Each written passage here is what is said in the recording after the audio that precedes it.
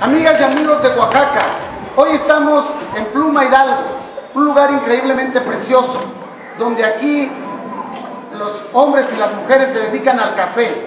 Es un lugar bello, una vista impresionante, uno de los lugares más bonitos de Oaxaca, pero también, como siempre lo he dicho, un lugar bello, pero donde hay mucha pobreza, hay mucha necesidad y hay muchas carencias. El día de hoy venimos a saludar a los hombres y mujeres, venimos a servirles, venimos a platicar con ellos, venimos a escucharlos y venimos a ponernos a sus órdenes.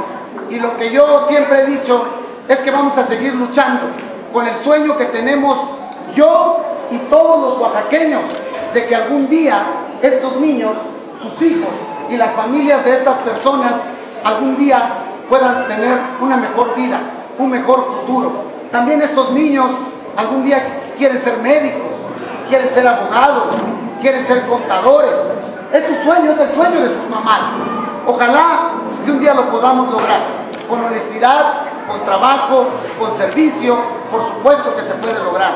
Vamos a seguir luchando para tener un mejor futuro en nuestros pueblos de Oaxaca. Muchas gracias a todos, que Dios les bendiga a todos.